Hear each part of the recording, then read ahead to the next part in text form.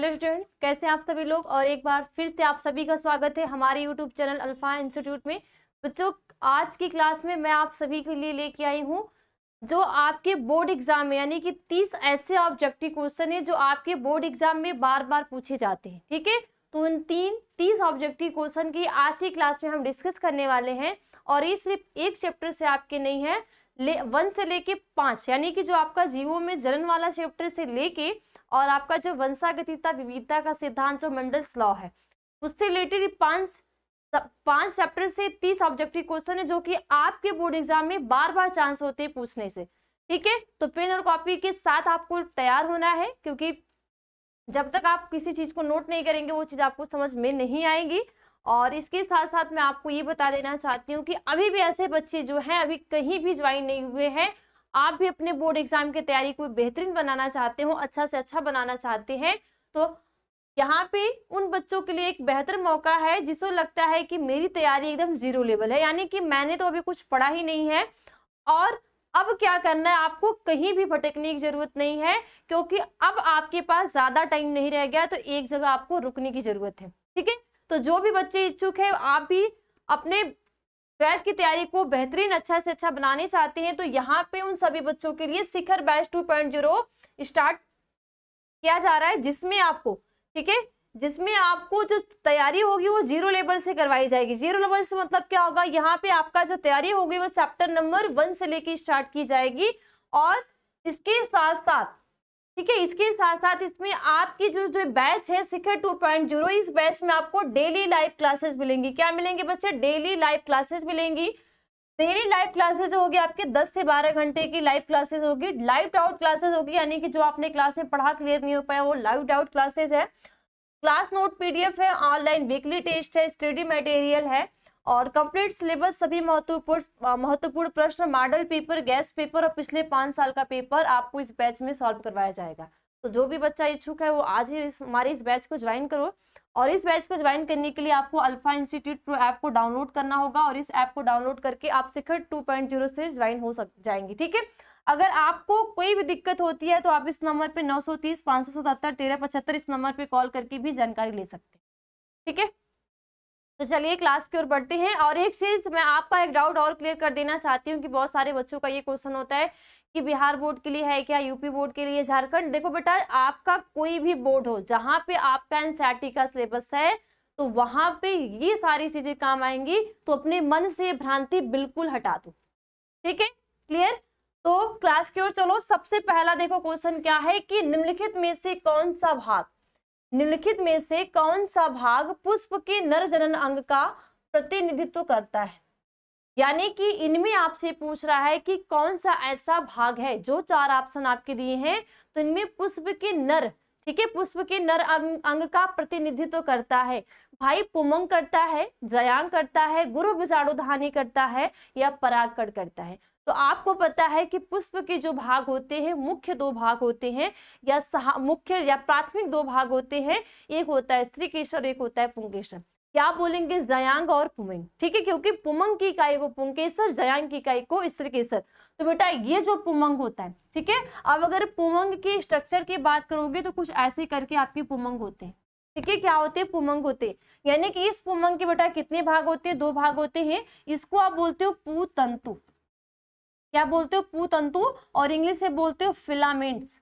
क्या बोलते हो? फिलामेंट बोलते हो, ठीक है? और ये बेटा आपके क्या होते हैं? पराग कोष क्या होते हैं? पराग कोष और पराग कोष को बच्चे आप क्या बोलते हो इंग्लिश में? एंथर। क्या बोलते हो? एंथर बोलते हो, ठीक है? अब इस पराग कोष के अंदर बच्चे क्या होते हैं? परागकण होते हैं, यानी कि पोलिन ग्रेन होंगे। क्या होंगे? पोलिन ग्रेन होते हैं, यानी कि हिंदी में परागकण बोलते हो। ठीक है? तो आपके जो राइट आंसर क्या हो जाएँगे? ये हो जाएँगे कि जो पुमंग होता है, वो पुरुष सॉरी पुष्प के नर जननांग का प्रतिनिधित्व करता है। तो ऑप्शन नंबर ये इसमें आपके क्या हो जाएँगे? करेक्ट हो जाएँगे। क्लियर नेक्स्ट क्वेश्चन देखो। सेकेंड क्वेश्चन है बेटा कि 112 लघु बीजाणुओं के निर्माण हेतु लघु बीजाणु मात्र कोशिका में कितनी अर्धसूत्री विभाजन होंगे? यहाँ पे आपसे क्या पूछ रहा है कि 112 यानी कि 112 लघु बीजाणुओं के निर्माण हेतु लघु बीजाणु मात्र कोशिकाओं में कितने अर्धसूत्री विभाजन होंगे?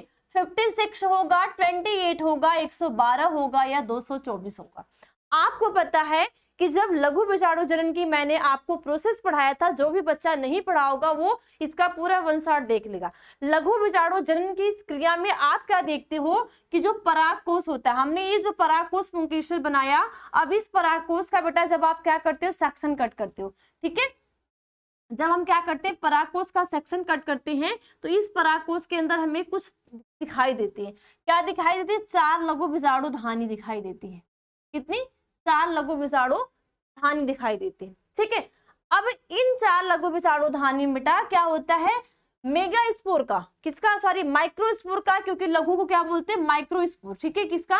माइक्रो स्पोर का क्या होगा? निर्माण, यानी कि लघु विषाणु का क्या होता है? निर्माण होता है। ये जो निर्माण की क्रिया बेटा होती है अर्धसूत्री विभाजन के द्वारा। किसके द्वारा?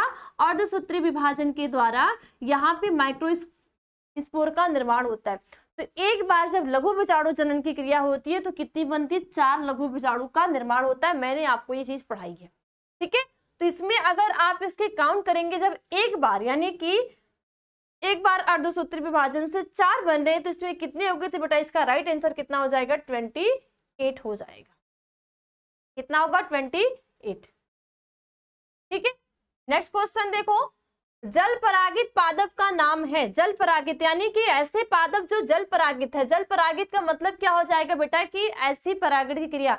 यानी कि देखो, आप क्या देखते हो? जंतु में कोई भी पॉलिनेशन की परागण की क्रिया की ज़रूरत नहीं होती, लेकिन पादप ऐसा है। यानी कि एंजियोस्पर्म हो गया, चाहे आपके ब्राइफाइट्स हो गया, चाहे आपके जिम्नोस्पर्म हो गया, इनमें किसी न किसी माध्यम की ज़रूरत होती है। तो आप क्या देखते हो कि जो जल परागित यानी कि ऐसे प्लांट जिनमें फर्टिलाइजेशन के लिए वाटर चाहिए बिना वाटर के वो निषेचन की क्रिया को नहीं कर सकते हैं। तो यहाँ पे जो जल परागित पादप का नाम है, हाइड्रेला जल परागित है या नींबू है, या इनमें से कोई नहीं है या मटर है? क्या मटर को पॉलिनेशन करने के लिए क्या वाटर चाहिए? या हाइड्रेला को पॉलिनेशन यानी परागण करने के लिए वाटर चाहिए या नींबू को चाहिए? किसको चाहिए बेटा? जल्दी से बताओ।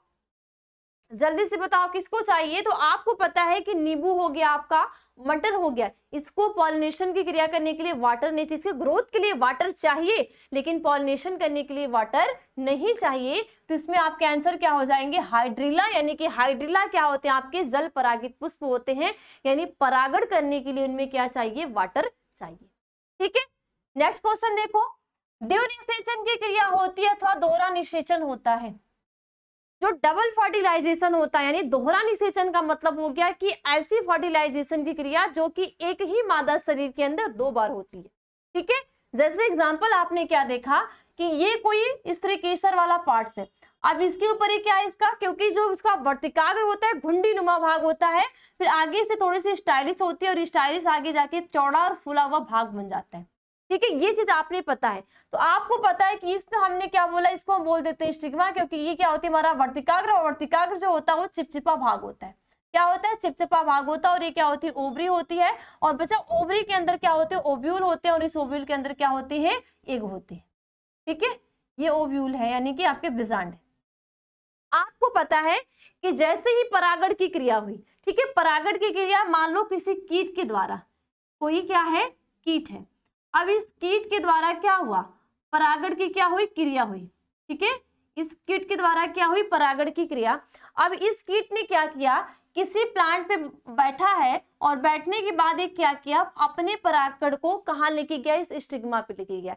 जैसे ही ये कीट क्या करता है? स्टिग्मा पे परागकण को आया। यानी कि यहाँ पे जब पॉलिनेशन पहुँचा बच्चे, अब यहाँ पे जब पॉलिनेशन पहुँच गया है, ये पॉलिनेशन क्या करेगा?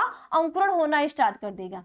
जब ये बेटा क्या करता है अंकुरण की क्रिया करता है, मैंने पूरा एक्सप्लेन में बना, बताया आपको, अंकुरण की क्रिया करता है तो इनमें जो परागकण होते हैं, जब परागकण की आप संरचना को देखते हो, क्या देखते हो? परागकण की बेटा संरचना देखते हो तो परागकण की संरचना में कुछ कुछ इस तरह की संरचना होती है। यानी कि अंदर की इस वाली को बोलते हैं अंतरचोल यानी कि इंटाइन बोलते हैं। क्या बोलते हैं? इंटाइन यानी कि अंतरचोल इसको बोलते हैं एक्साइन यानी कि बायचोल अब देखो, जो एक्साइन होता है, यहाँ पे छोटे छोटे पोर पाए जाते हैं, यानी कि क्या होते हैं? जन्म पोर होते हैं। क्या होते हैं? जन्म पोर होते हैं, यानी कि जनन छिद्र होते हैं। और इसके अंदर बेटा एक होती है कायिक कोष का और एक होती है जनन कोष का। अब ये जनन कोशिका क्या करती है? इस अर्धसूत्री विभाजन के द्वारा दो मेल गैमिट का क्या कर देती है? निर्माण कर देती है। ठीक है? जब परागकण की क्रिया हुई, चाहे हवा के माध्यम से, कीट के माध्यम से, जल के माध्यम से, माध्यम कोई हो, चाहे स्वपरागण चाहे पर परागण कोई भी क्रिया हुई तो जो परागकण होते हैं, स्टिग्मा पे पहुँचेंगे, जैसे स्टिग्मा पे पहुँचते हैं, ये परागकण के आपके स्ट्रक्चर होते हैं, ये क्या करेंगे, अंकुरण करना स्टार्ट कर देते हैं। जैसे इन्होंने क्या क्या अंकुरण किया, अंकुरण के द्वारा इन्होंने इनकी जो जनन कोशिका रहती है, ये क्या करती है, दो मेल गैमिट का फॉर्मेशन करती है, और यहाँ पे इनकी जो वेजिटेटिव सेल यानी काइट कोशिका होती है, वो पराग नली को बनाती है। ठीक है? अब जैसे ही बेटा यहाँ पे ये इनकी जो काई कोशिका ने क्या बना दिया? पराग नली बना दिया और इनकी जो जनन कोशिका थी, उन्होंने क्या कर दिया? दो मेल गैमिट का फॉर्मेशन कर दिया। यानी कि ये एक मेल गैमिट और एक मेल गैमिट थी। आपको पता है, यहाँ पे बीच में सेंट्रल न्यूक्लियस होते हैं और अंड कोशिका होती है। तो एक बार जो एक मेल गैमिट क्या करता है? अंड कोशिका से और दूसरा मेल गैमिट जो होता है, उससे ध्रुवीय केंद्रक से। तो ये आपके डबल ट्रिक्स लेयर या डबल फर्टिलाइजेशन बोले जाते हैं। तो यहाँ पे आपसे पूछ रहा है कि डबल फर्टिलाइजेशन क्रिया होती है अथवा निषेचन होता है सवाल में होता है, कवक में होता है, आवृत्त बीजी पादपों में होता है या अनावृत बीजी में। तो इसमें ऑप्शन नंबर आपके सी राइट आंसर होंगे कि आवृत्त बीजी पादपों में ये आपने ध्यान देनी है। ठीक है? क्योंकि सिर्फ़ एक ऐसा ही आवृत्ति बीजी पौधा ही एक ऐसा पौधा होता है जो फ्लावरिंग प्लांट्स होता है, यानी कि उसमें फ्लावर लगते हैं। और वही आप जिम्नोस्पर्म को देखोगे, उसमें वो पुष्प विहीन होते हैं, यानी कि फ्लावर की ऑब्सेंट होते हैं। हालाँकि उसमें भी मेल गैमिट और फीमेल गैमिट दोनों है, लेकिन फ्लावर का अभाव होता है। आप क्या देखते हो जिम्नोस्पर्म एंजियोस्पर्म में कि जो मेल यानी कि जो जननांग होते हैं, नर जननांग और मादा जननांग जो होते हैं पुष्प में होते हैं फ्लावर में होते हैं। लेकिन एंजियोस्पर्म हो गया, आपके जिम्नोस्पर्म हो गया, इसके जो नर सन्नांग होती है, किसी फ्लावर में नहीं होते, ठीक है? आपने इलेवेंथ में पढ़ा होगा। तो इसमें ऑप्शन नंबर आपके क्या हो जाएँगे? सी राइट आंसर हो जाएँगे। क्लियर? Next next question. निम्नलिखित में से कौन सा एक आभासी फल नहीं है? निम्नलिखित में से कौन सा एक आभासी फल नहीं? इसमें आपसे आभासी फल पूछ रहा है तो आप किसे पूछ रहा है कि सेब है, स्ट्रॉबेरी है, अखरोट है या आम है? तो आपको पता है कि आभासी फल, उसे हम कहते हैं कि ऐसे फल जिसका निर्माण किससे होता है? पुष्पासन से होता है। ठीक है? जिसका निर्माण किससे होगा? पुष्पासन से। यानी एग्ज़ाम्पल क्या हुआ? ये कोई फ्लावरिंग प्लांट से ठीक है? आपने ये कोई फ्लावरिंग प्लांट्स बना लो।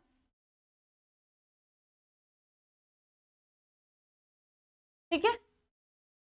इसका ये क्या होता है बेटा? पुष्पासन होता है। इस पुष्पासन पे इस पुष्पासन पे बच्चे आपके रंग बिरंगे, यानी कि इसका जो बाह्य दल पुंज होता है, ठीक है? इसका जो बाह्य दल पुंज होता है, ये तो हमेशा कैसा होता है? ग्रीन होता है। क्योंकि बाह्य दल पुंज होगा, वो हमेशा ग्रीन होता है। लेकिन यहाँ पे इसका जो बेटा पुष्प दल होता है, ठीक है? आप क्या देखते हो? इसका जो दल पुंज होता है, ये हमेशा क्या होते हैं? रंग बिरंगे होते हैं। कैसे होते हैं? हमेशा रंग बिरंगे होते हैं। रंग बिरंगे होने के साथ साथ बच्चे, यहाँ पे इनके होते हैं क्या? पुंकेशर होते हैं। ठीक है और एक प्लांट बॉडी में ढेर सारी पुंकेशर होते हैं। ये एक होता है फ्लावरिंग प्लांट्स तो ऐसे जो फ्लावर्स होंगे, ऐसे फ्लावर्स जो प्रेजेंट होते हैं, आपके जो कौन से फ्लावर होते हैं, जो आवृत्त बीज, यानी कि एंजियोस्पर्म में प्रेजेंट होते हैं। इसके साथ साथ बीच में आप क्या देखते हो? ओव्यूल होता है, ठीक है, यानी कि विजांड होता है।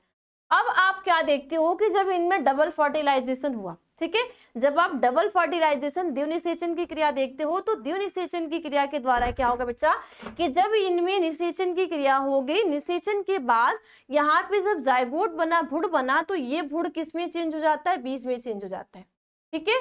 और ये ओवरी जो होती है, वो किसमें चेंज हो जाती है? फ्रूट में, यानी कि फल में चेंज हो जाती है।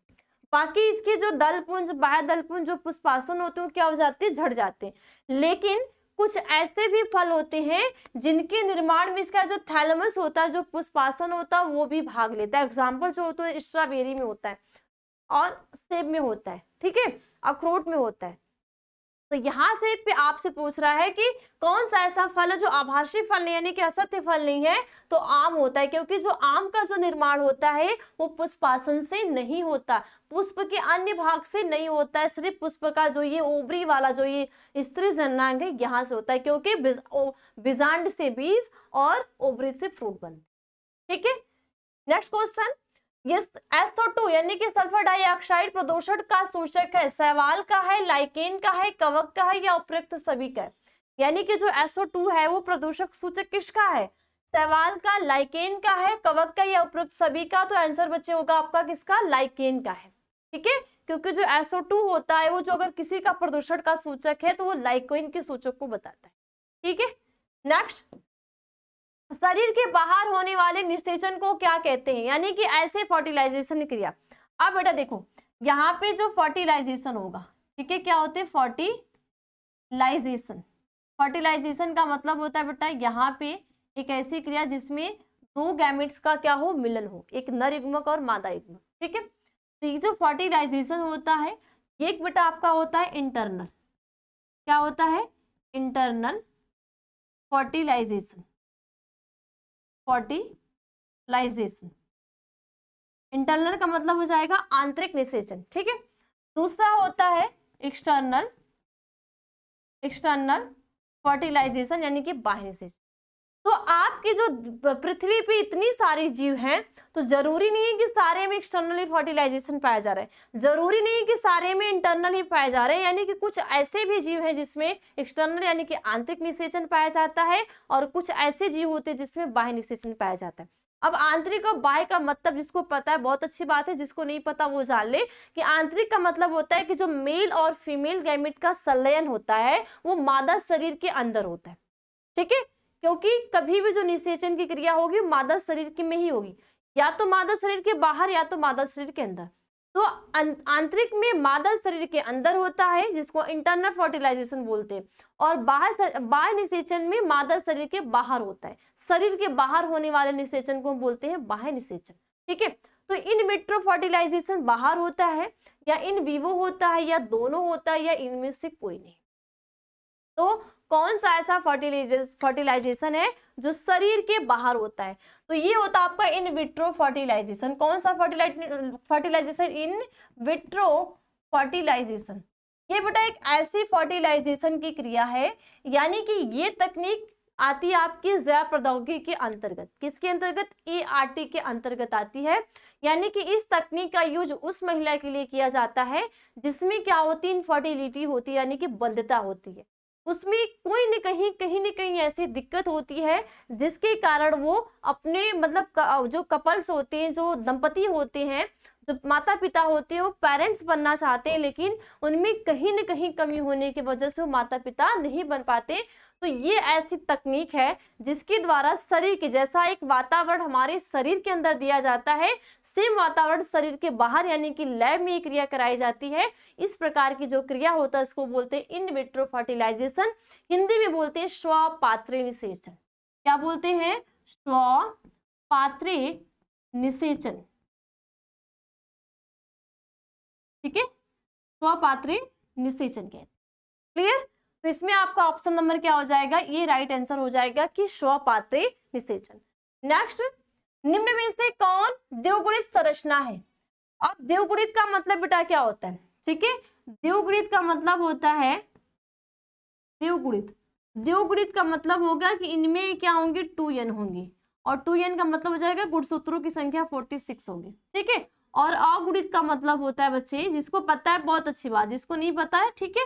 इसका मतलब होता है यानी कि इनमें गुणसूत्रों की संख्या क्या होती है? मातृकोशिका की आदि होती है। ठीक है? तो यहाँ पे अंडाणु द्विगुणित है, शुक्राणु द्विगुणित है, युग्मनस है उपयुक्त सभी है। जिसमें आपके ऑप्शन नंबर क्या हो जाएँगे? सी हो जाएँगे। कैसे हो जाएँगे? क्योंकि जब आप क्या देखते हो? निषेचन की क्रिया। क्या देखते हो? निषेचन की, जैसे ही आपने क्रिया देखी, निषेचन की क्रिया में क्या होता है? अंडाणु का, ठीक है? अंडाणु का क्या होता है? शुक्राणु से मिलन होता है। ठीक है? दोनों क्या करते हैं? एक साथ फ्यूजन करते हैं।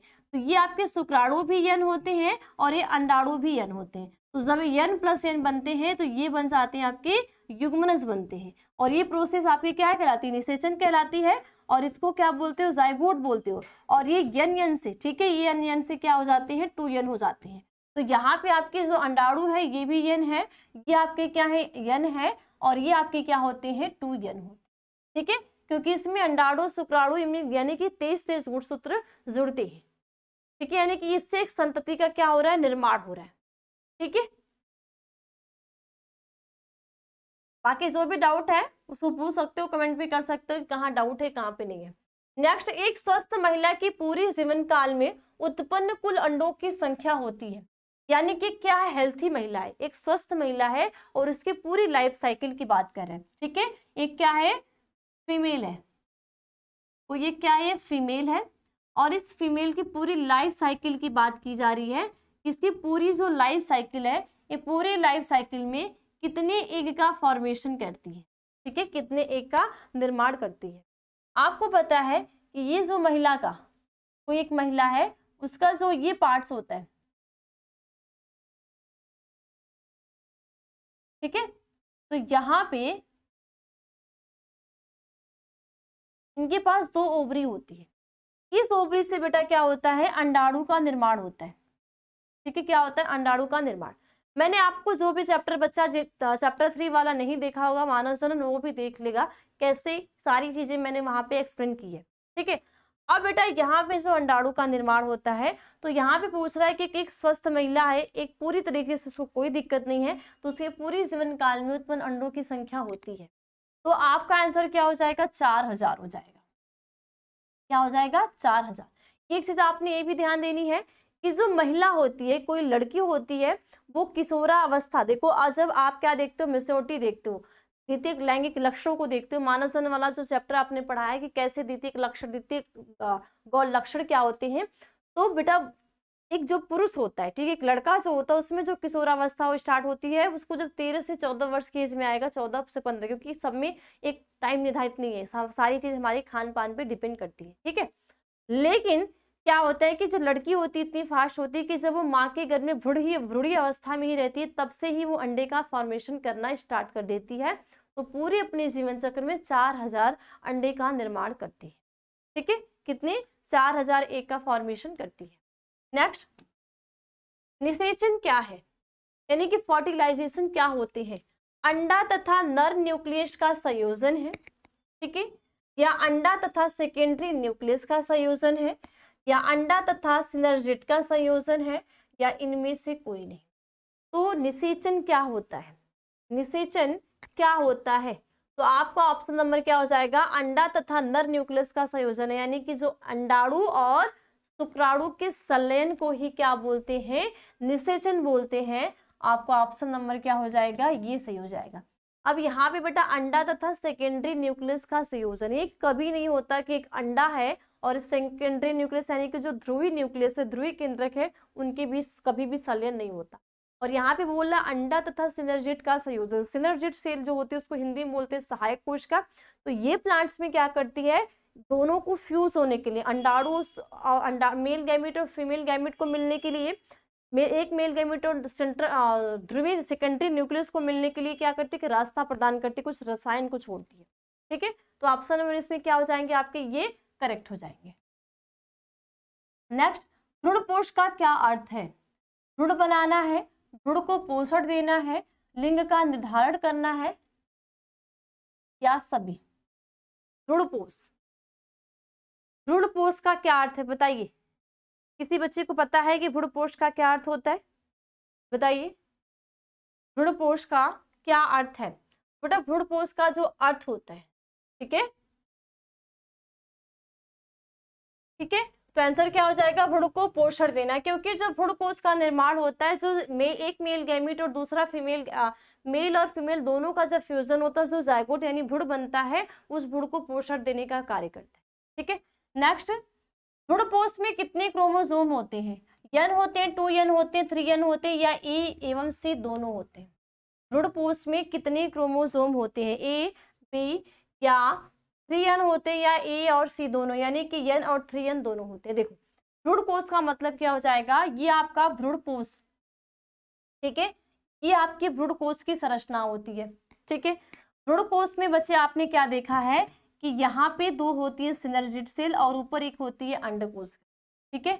और इनमें क्या होती है? तीन न्यूक्लियस बीच में होते हैं सेकेंडरी न्यूक्लियस यानी कि ध्रुवी केंद्र और यहाँ पे बच्चे होते हैं तीन प्रतिमुखी कोष का जिसको बोलते हैं एंटीपोडल सेल इनमें जब फर्टिलाइजेशन की क्रिया बच्ची होती है। तो जब एक मेल गैमिट यानी कि यन प्लस यन ये जब एक मेल गैमिट बनती है तो क्या हो जाती है? टू यन हो जाती है। ठीक है? यानी कि एक एंड कोशिका से और एक संलयित हुआ।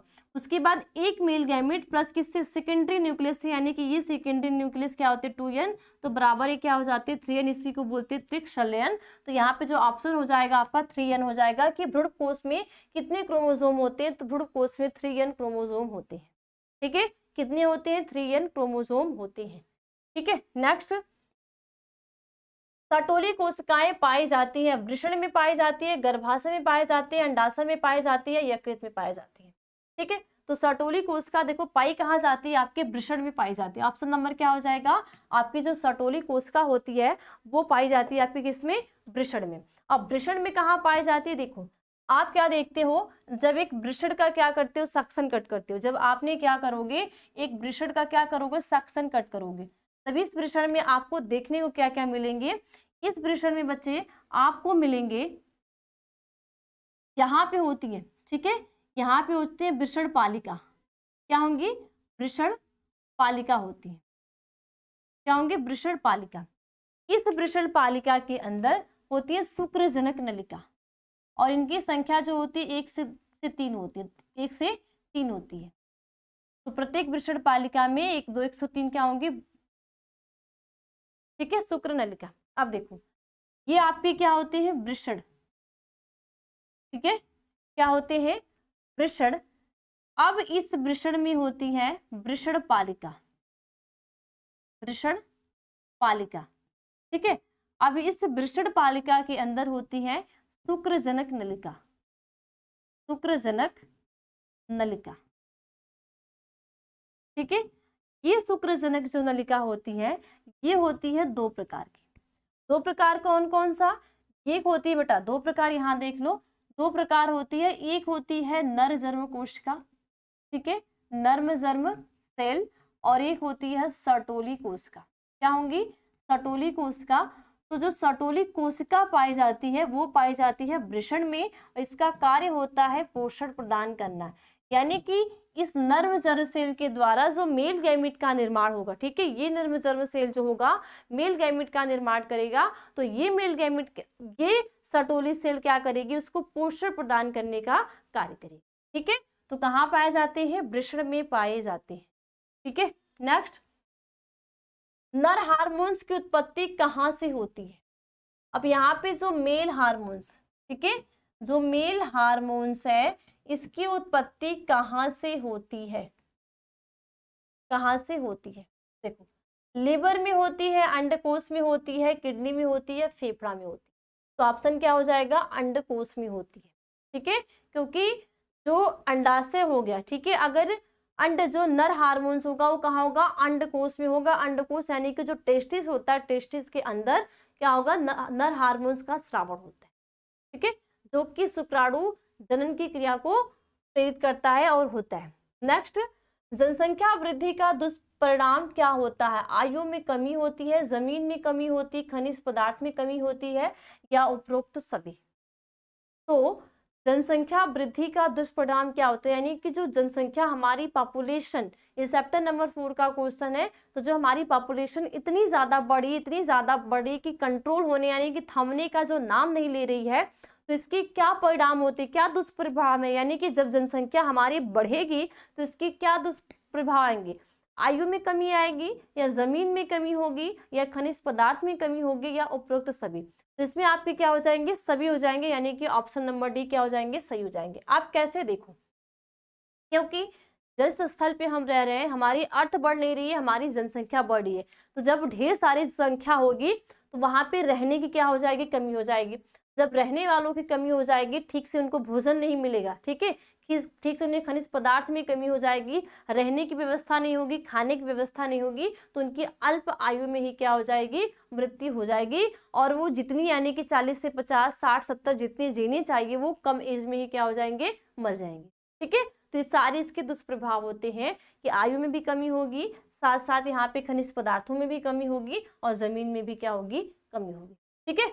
नेक्स्ट इनमें से कौन यौन संचारित रोग है? खसरा है, गुनेरिया है टीबी है या टाइफाइड है? तो आपको पता है कि जो गोनोरिया होता है, ये आपके यौन संचारित रोग होते हैं। यानी कि ऐसे रोग जो सेक्सुअल इंटरकोर्स के द्वारा, लैंगिक संपर्क के द्वारा एक व्यक्ति से दूसरे व्यक्ति में संचारित होते हैं। ठीक है? तो आपके जो खसरा ये आपके यौन संचारित नहीं, ये ये तीनों रोग जो आपके कुछ बैक्टीरियल हैं तो कुछ क्या है? वायरस है। कुछ वायरस के द्वारा हो रहा है, कुछ बैक्टीरिया के द्वारा हो रहा है। लेकिन आपके जो गुनेरिया होते हैं, ये यौन संचारित रोग होते हैं, यानी कि लैंगिक संपर्क के द्वारा एक व्यक्ति से दूसरे व्यक्ति में फैलता है। ठीक है? तो ऑप्शन नंबर क्या हो जाएँगे? इसमें आपके सी करेक्ट हो जाएँगे कि यौन संचारित रोग कोई है तो गुनेरिया है। ठीक है? नेक्स्ट वर्णालता में रोगी पहचान नहीं कर पाता। अगर कोई भी व्यक्ति है, कोई भी बंदा है, वो कलर ब्लाइंडनेस से ग्रसित है, यानी कि वर्णानता रोग से ग्रसित है तो वो पहचान नहीं कर पाता है। किसकी पहचान नहीं कर पाता है? लाल तथा पीले रंग का, या लाल तथा हरे रंग को, या हरा तथा नीले रंग को, या किसी भी रंग को? यानी कि ऐसा व्यक्ति जिसमें कलर ब्लाइंडनेस है, देखो, ये आपके लिंग संलग्न बीमारी होती है, वंशागति बीमारी होती है, यानी एक पीढ़ी से दूसरी पीढ़ी में क्या होती है संचरित होती है। ये आपके क्वेश्चन है चैप्टर नंबर फाइव के, जिसने भी बच्चे ने चैप्टर नंबर फाइव नहीं देखा, वापस से देख लेगा ठीक है? और जिसका कहीं डाउट रहा होगा, वो भी क्या करेगा, देख लेगा। अब देखो यहाँ पे जो वर्णालता होती है अगर कोई भी व्यक्ति वर्णालता रोग से ग्रसित है तो वो लाल और हरे रंग में भेद नहीं कर पाता। किसमें लाल और हरे रंग में भेद नहीं कर पाता। इसीलिए जिस व्यक्ति को वर्णादता है उसको रेलवे ड्राइवर रेल जो रेलवे ड्राइवर होता है उसको नहीं बनाया जाता है क्योंकि जो लाल रेड, रेड जो लाल बत्ती होती है और जो हरी बत्ती होती है, उसको पहचान नहीं कर पाता है, जिससे क्या हो जाएगी? दुर्घटना होने की संभावना होती है। इसीलिए अगर भी कोई बंदा वर्णांता से ग्रसित है, उसको रेलवे ड्राइवर नहीं बनाया जाता ठीक है? नेक्स्ट क्वेश्चन, एक संकरण क्रास का फिनो, फिनोटिपिक अनुपात क्या है?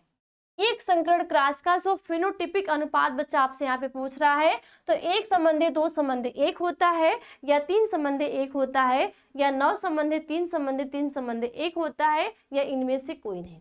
अब देखो मैंने चैप्टर नंबर फाइव में इसको पूरी अच्छी तरह से किसी में एक्सप्लेन किया, लेकिन फिर भी जिस बच्चे को नहीं पता, वो यहाँ पे ध्यान दे। बेटा फिनोटाइप और जीनोटाइप यानी कि आप किसी भी जब मिंडल जी ने क्या किया दो दो संकर के बीच में, ठीक है? दो जने के बीच में उन्होंने क्या कराया, संकट कराया तो उसमें फिनोटाइप और जीनोटाइप देखते हैं। आप देखो फिनोटाइप में क्या होगा? फिनोटाइप तो फिनोटाइप में जो बच्चा होता है, इसमें क्या किया जाता है? मॉर्फोलॉजी को देखते हैं। क्या देखते हैं? लक्षण को हिंदी में बोलते हैं लक्षण प्रारूप। क्या बोलते हैं? लक्षण प्रारूप। लक्षण प्रारूप में बच्चे इनमें मॉर्फोलॉजी देखते हैं। मॉर्फोलॉजी का मतलब क्या हो जाएगा? क्या देखेंगे? मॉर्फोलॉजी को देखते हैं। मॉर्फोलॉजी का मतलब हो जाएगा कि इसके क्या देखेंगे? सेप को देखेंगे। ठीक है? यानी कि आकार कैसा है? कलर को। ठीक है? कलर को देखेंगे। हाइट को देखेंगे कि छोटा है या बड़ा है। ठीक है? ये सारी इसकी जो बाह्य संरचना होती है बाह्य संरचना को देखते हैं। तो ये इसके क्या होते हैं? फिनोटाइप होते हैं। तो एक संकरण क्लास का फिनोटाइप अनुपात क्या है? आपको पता है जो हमारे मेंडल्स था आपने क्या पढ़ा होगा? Mendel's law Mendel Mendel's law पढ़ा होगा। मेंडल्स लॉ में मैं, आ, मैंने आपको तीन लॉ को बताया है। एक लॉ है प्रभाविता का नियम दूसरा है अप्रभाविता।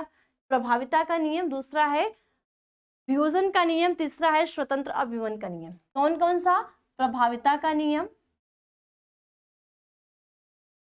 प्रभाविता का नियम। दूसरा है, वियोजन का नियम या युग्मक शुद्धता का नियम भी बोलते हैं। वियोजन का नियम और तीसरा है स्वतंत्र।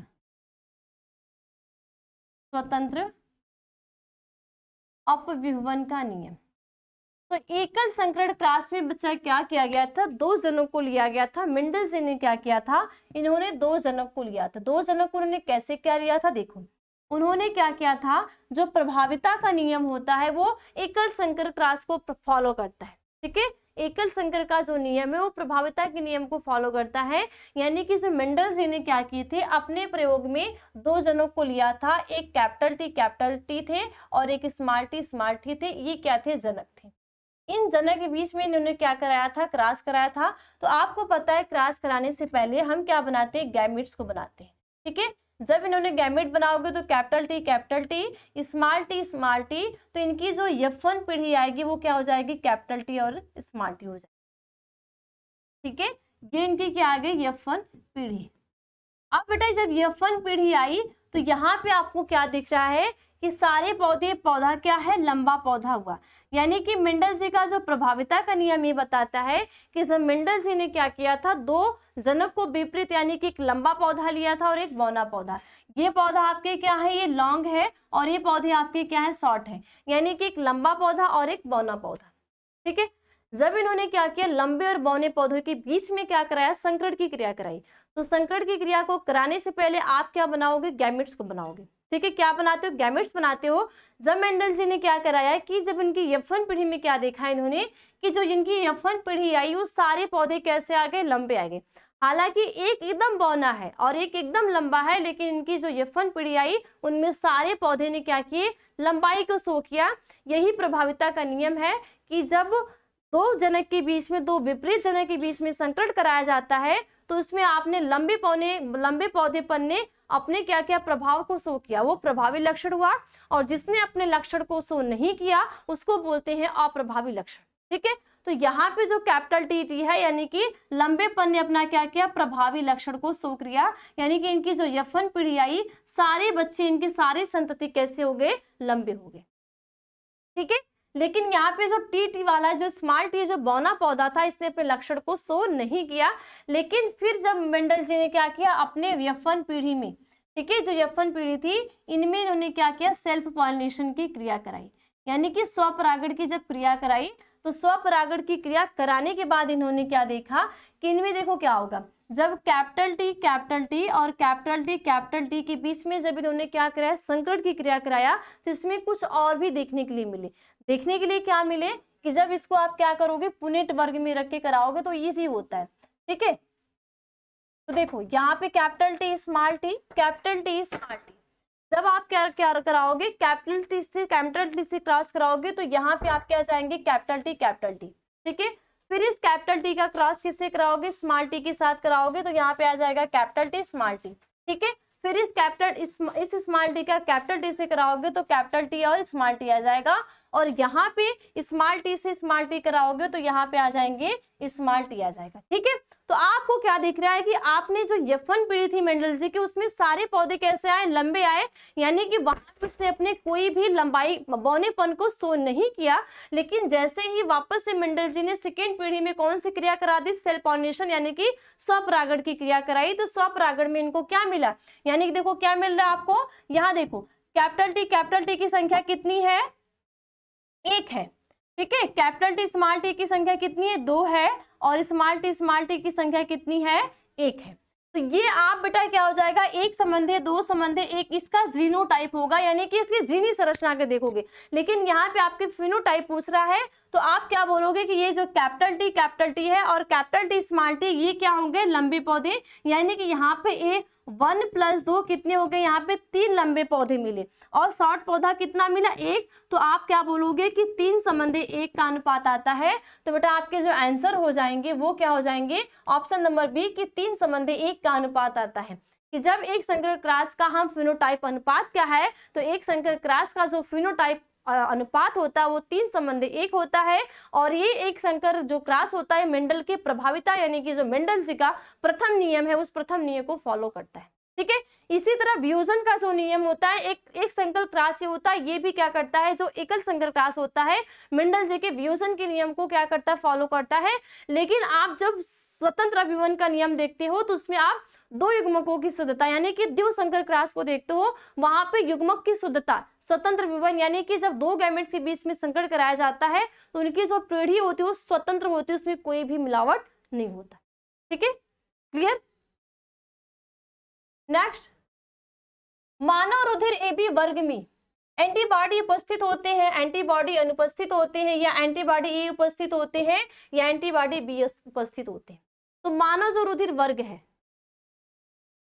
तो बेटा इसमें आपके आंसर क्या हो जाएँगे कि एंटीबॉडी जो अनुपस्थित होते हैं, यानी कि जो रुधिर, मानव रुधिर ए बी वर्ग में जो एंटीबॉडी क्या होती है, वो ऑब्सेंट होती है। तो ऑप्शन नंबर क्या हो जाएँगे? आपके बी करेक्ट हो जाएँगे। ठीक है? क्या हो जाएँगे? बी करेक्ट आंसर हो जाएँगे।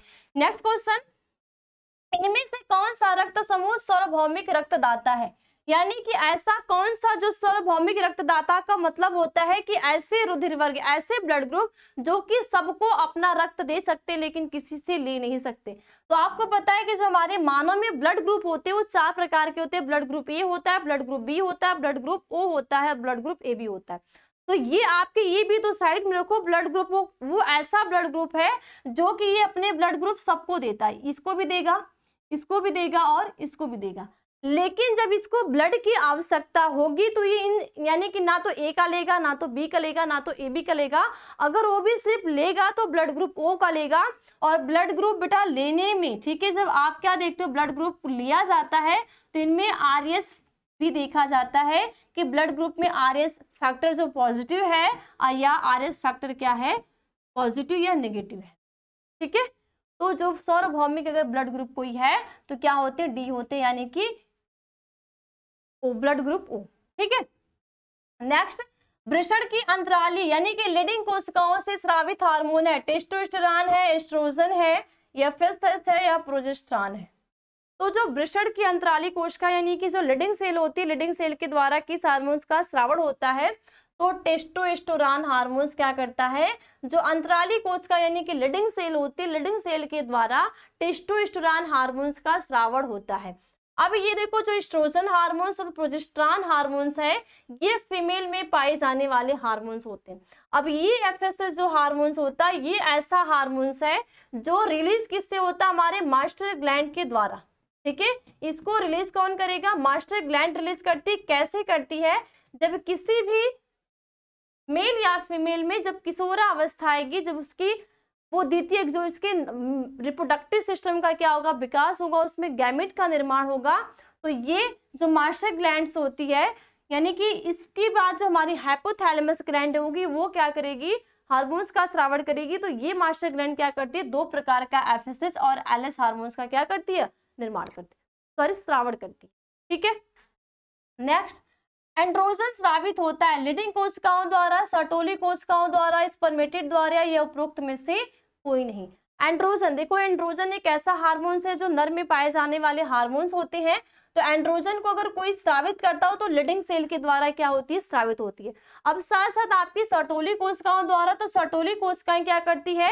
पोस्टर प्रदान करने का कार्य करती है। अभी स्पर्मेटिड्स क्या होते हैं? ये स्पर्मेटिड का क्या होता है? जब कायांतरण होता है, ठीक है? जब क्या होगा?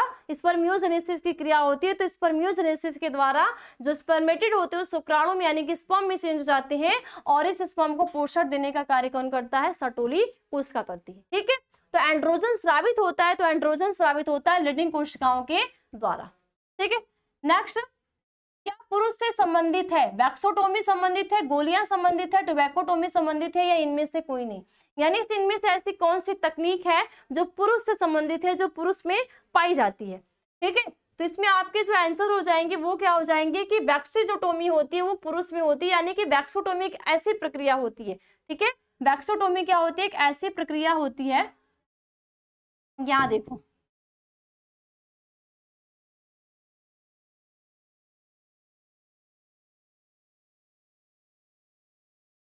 ठीक है? ये वैक्सोटोमी की क्या होती है? एक ऐसी प्रक्रिया होती है। ठीक है बेटा, ये क्या होती है? एक ऐसी प्रक्रिया होती है जिसमें क्या किया जाता है? जिसमें क्या होता है कि जो शुक्र नलिका होती है, शुक्र वाहिका जो बोलोगे, ये पुरुष की जो शुक्र वाहिका होती है, या तो इसको क्या किया जाता है? सल क्रिया के द्वारा काट दिया जाता है। ठीक है? सल क्रिया के द्वारा इसको क्या किया जाएगा? काट दिया जाएगा। या तो इसको क्या किया जाता है? बाँध दिया जाता है। ठीक है? जिससे क्या होगा कि यहाँ पे जो शुक्राणु का निर्माण होगा, ये शुक्राणु यहीं तक रह जाएँगे, इसके आगे प्रवेश नहीं करेंगे। तो ये ऐसी तकनीक है जिसमें हम जनसंख्या को रोकने का कार्य करते हैं, यानी कि जो हमारी जनसंख्या इतनी ज़्यादा बढ़ी, इतनी ज़्यादा बढ़ी है तो जनसंख्या को कंट्रोल करने का कार्य करते हैं। ठीक है? तो ये आपकी क्या होते हैं? इसको एक अस्थाई विधि बोलते हैं, यानी कि जो गर्भ निरोध के उपाय होते हैं, कुछ अस्थाई विधि होती है, कुछ अस्थाई विधि होती है।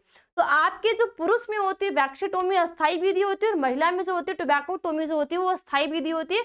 बाकी जितनी भी विधियाँ, चाहे आपकी प्राकृतिक हो गए चाहे रोध हो गए चाहे आवधिक संयम हो गए चाहे जितनी भी आपकी विधि होती है, ठीक है, जो यांत्रिक युक्तियाँ हो गई, ये सारी अस्थाई नहीं मानी जाती।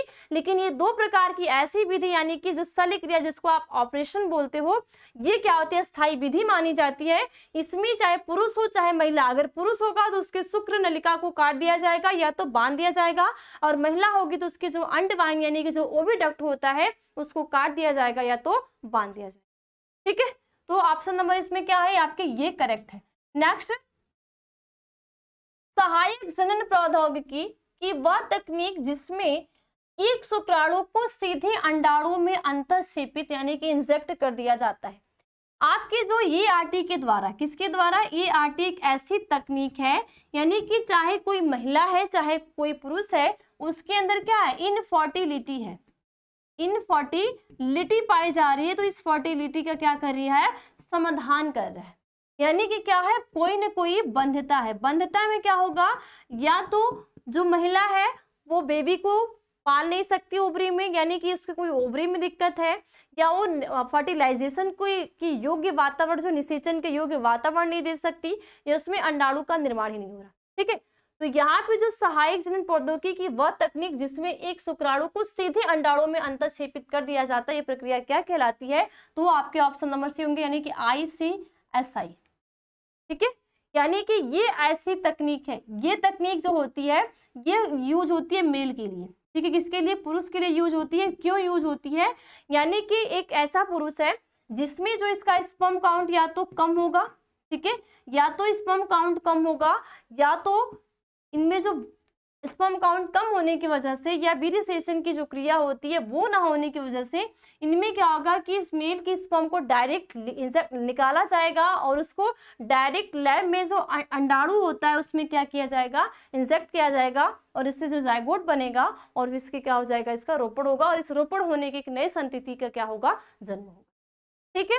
तो ऑप्शन नंबर इसमें क्या होगा? आई सी एस आई जो होता है, ये ए आर टी जनन प्रौद्योगिकी यानी कि एक ऐसी क्रिया होगी जिसमें शुक्राणु को सीधे अंडाणु में इंजेक्ट किया जाएगा, यानी कि प्रतिक्षेपित किया जाएगा।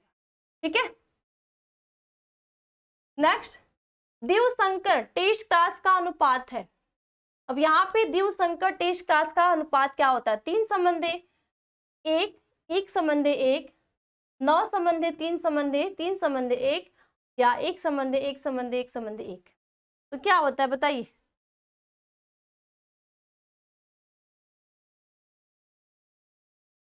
ठीक है? तो बेटा इसमें जो आपका ऑप्शन नंबर राइट क्या होगा?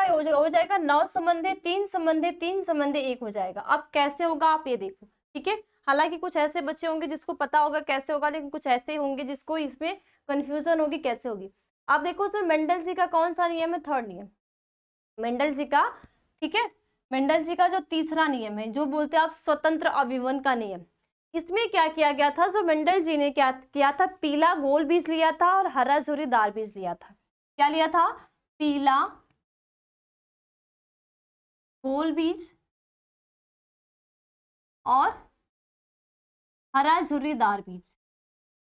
हरा झुर्रीदार यानी कि इसमें आपको दो जीन की वंशागति दिखती है। ठीक है? ये क्या होगा? जो गोल बीज की जीन हो गया और एक झुर्रीदार। ठीक है? यानी कि कलर आ, कलर का जीन हो गया और एक क्या हो गया? सेप यानी कि आकार का जीन हो गया। तो मेंडल जी ने क्या किया था? इन्होंने क्या किया? अपने संकरण में दो दो जीन वाले यानी कि दिव संकट क्रॉस कराया।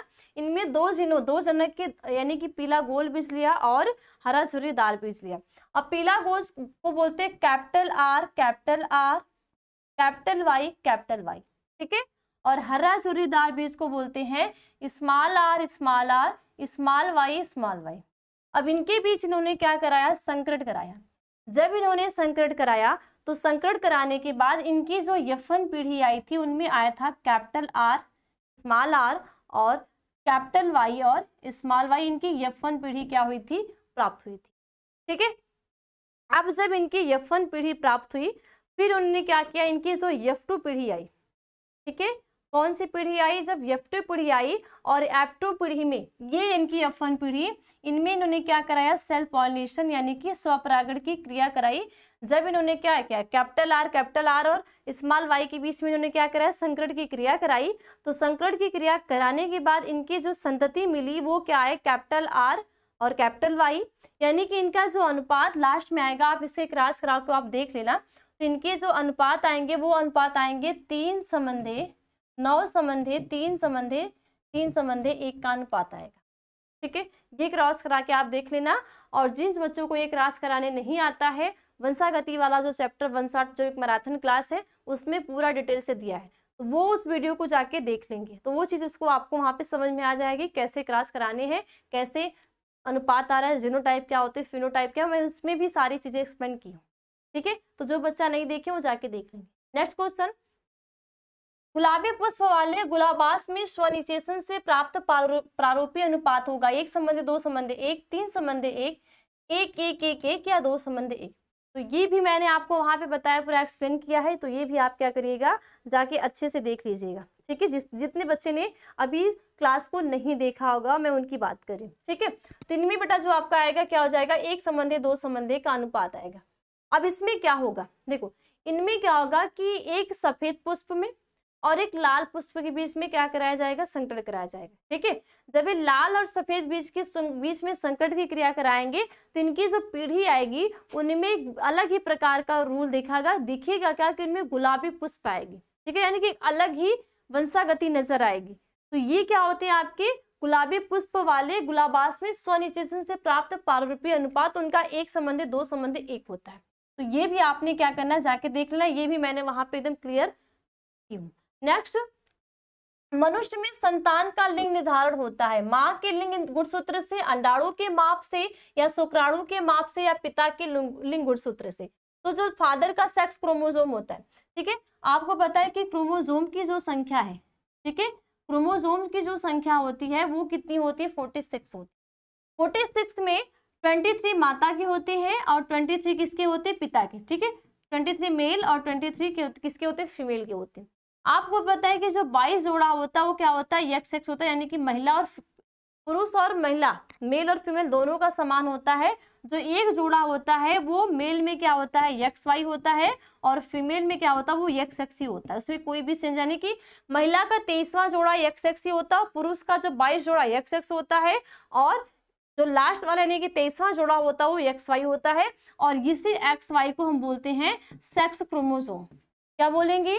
सेक्स क्रोमोजोम यानी कि ऐसा गुणसूत्र ऐसा क्रोमोजोम है जो लिंग निर्धारण की प्रक्रिया को पूरा करेगा कि जो आने वाली संतति वो लड़का होगी या लड़की होगी। ठीक है? तो अगर अगर पुरुष ने अपने एक्स क्रोमोजोम को, को दिया होगा तो क्या होगी? लड़की होगी। अगर वाई देगा तो क्या होगा? लड़का होगा। ठीक है? तो लिंग निर्धारण की प्रक्रिया किस समय होता है? किसी बच्चे का क्वेश्चन आया था कि क्या कैसे दिया जाता है? बेटा देखो, दिया कैसे जाता है? यहाँ पे ये पुरुष चाह के नहीं कर सकता, ठीक है? पुरुष में भी वो पावर नहीं है कि वो अपने एक्स को दे रहा है वाई को दे रहा है। जब उनमें क्या हो रहा है, शुक्राणु का निर्माण हो रहा है तो उसमें कुछ एक्स भी क्रोमोजोम बने, कुछ वाई भी क्रोमोजोम बने, ठीक?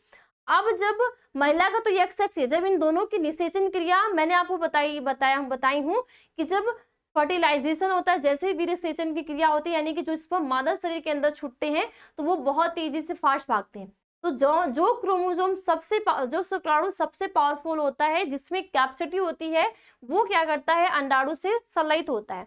तो वो, ये हो सकता है कि या तो वो वाई हो या तो वो यक्स हो। ये इस पर डिपेंड करता है। ठीक है? नेक्स्ट मंगोली जड़ता किसके कारण होती है? लिंग गुणसूत्रों की एकल सूत्रता या इक्कीसवीं जोड़े की अलिंग गुणसूत्रों की एकल सूत्रता या लिंग गुणसूत्रों की एकाधि सूत्रता या इक्कीसवें जोड़ों की अलिंग सूत्रों की एकाधि शुद्धता। तो जो मंगोली जड़ता होती है, वो इक्कीसवीं जोड़ी के अलिंग सूत्रों की एकाधि सूत्रता यानी कि जो अलिंग है, यानी कि जो सेक्स क्रोमोजोम नहीं जो लिंग का निर्धारण नहीं कर रहे हैं तो उनकी इक्कीसवीं जो जोड़ी होती है, उनमें अलिंग सूत्रों की एकाध सूत्रता होती है, जिससे मंगोली जड़ता होती है। ठीक है? जो बच्चे होते हैं मंद बुद्धि वाले होते जिनका पूरा विकास नहीं हो पाता।